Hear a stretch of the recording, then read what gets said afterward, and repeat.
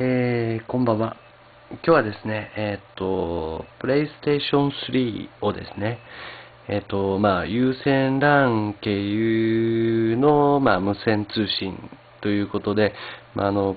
コンバーターですよね。えー、PlayStation 3とコンバーターを使って、まあ、あの、有線 LAN 形式の無線通信でインターネットを接続する方法の説明を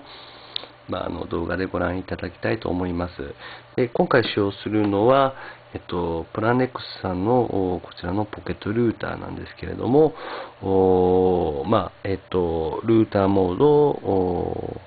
アクセスポイントモード、コンバータモード、簡単にスイッチで切り替えることができます。で、えっと、一応ですね、えー、型番の方はこちらの方になります。で、こちらの方、ポケットルーターの方をコンバーターでご利用いただく場合は、こちらのスイッチを一番右に移動していただいて、で、まあ、設定するんですけれども、これをまあ、いきなりプレイステーション3の方につなぐのではなくて、一応ですね、まずパソコンの方につなぐことになります。で、まず、あの、なぜパソコンの方につながないといけないというかというと、まあ、ウェブキー設定などなどを IP アドレスですよね、の設定の方が必要になるからです。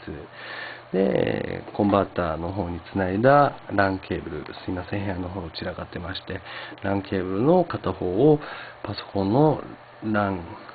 LAN のインターフェースの方につなぎます。何かつながっている場合はもう外していただいて、えー、ブチッと差し込んでください。でですね、えー、パソコンの方電源つけていただいて、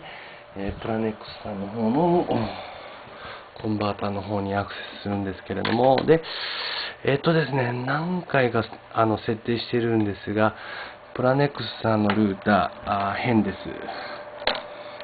うーんと、まあ、外国製特有の、まあ、少し、変わったというか、いうことを聞いてくれないいい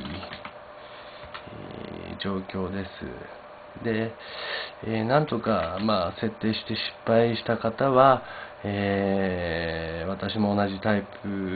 私と同じタイプを持っている方であれば、お問い合わせいただけましたら、なんとか対応できると思いますので、えー、プラネックスの方のコンバーターの方、192.168.1.1ですね、こちらの方にアクセスしますので、えー、ログイン画面出ますので、えー、DMIN でログインします。で、まあ、こちらの方、ログインできました。で、もしもですね、NTT ルーターご利用の場合は、こちらの TCP/IP クリックいただいて、ここの IP アドレスあるんですけれども、これ1度と1が競合します。これをもしも NTT さんのルーターご利用の場合は100に変えていただいて設定ですね、適用をしていただいて、えー、ご対応ください。えー、でないと競合問題が発生してインターネットつながらなえー、繋がらなくなります。で、他の方はこのまま1度と1で構いません。で、モードに移動いただきます。で、クライアントがあ適用されています。これが、あの、コンバーターモードですね。で、これを設定ですね。で、えー、無線 LAN アクセスポイントを探しますんで、AP 検索設ですね。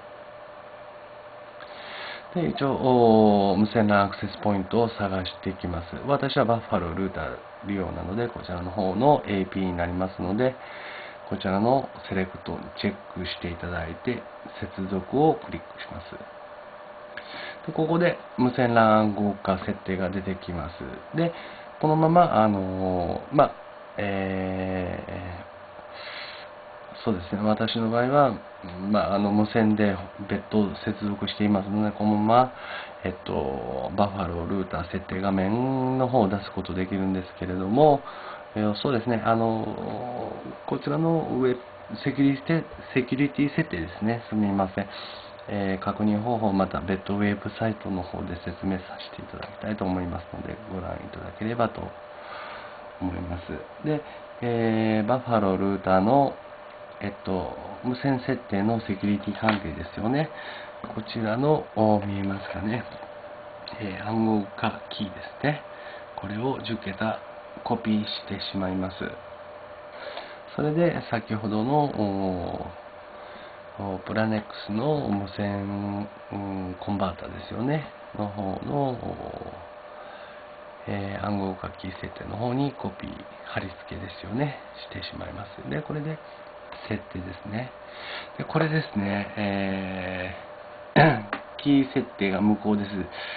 あの、しょっちゅう出ます。こちらの、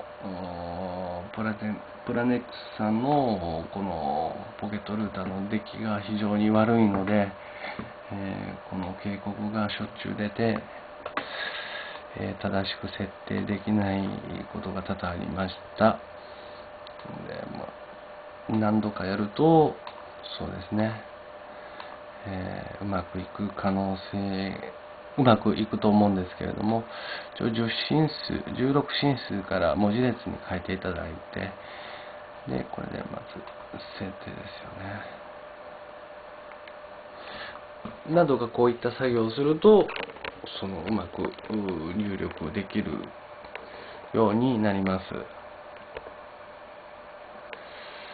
ちょうどですね、プラネックスさんのこのポケットルーター、出来非常に悪いです。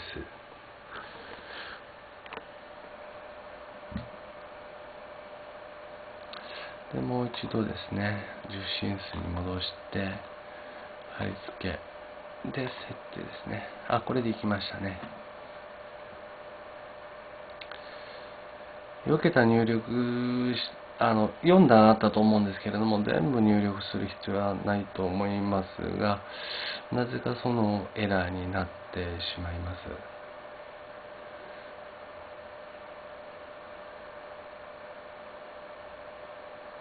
まあ、一応ですね、これで設定できたと思うんですけれども、それで、えー、っとですね、これで設定完了できましたら、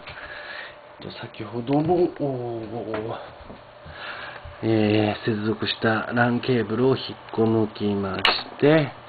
プレイステーション、すみません、あの部屋の中散らかってまして、プレイステーション3の、見えますかね、こちらの、えっ、ー、と、LAN、LAN のソケットですね、えー、に、コンバータの LAN ケーブルをつなぎ替えます。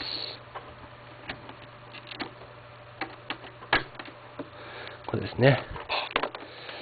それで、えー、プレイステーション3の電源を投入します。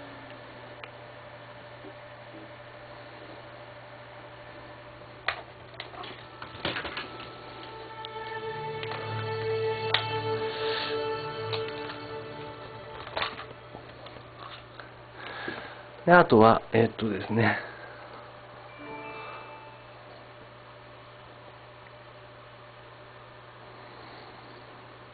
プレイステ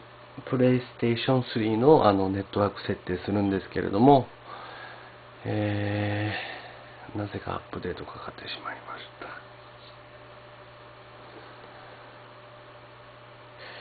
一応ですね、あの、IP アドレス自動取得では、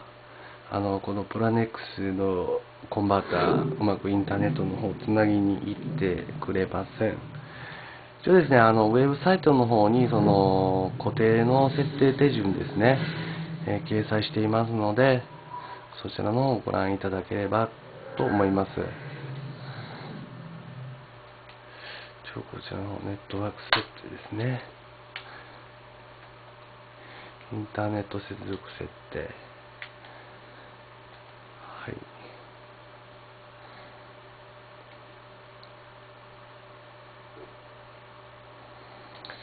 で、コンバーターで接続していますので、えー、無線 LAN 接続設定はカスタムで、えっと、有線を選んで、手動ですね。で、自動認識。で、IP アドレス、えー、手動。でまあ、あらかじめ設定しているんですけれども、まあ、こちらはウェブサイトで詳しく説明しています。MTU は自動で、プロキシーサーバーは使用しない。えー、UPNP 無効。で、これで OK ですね。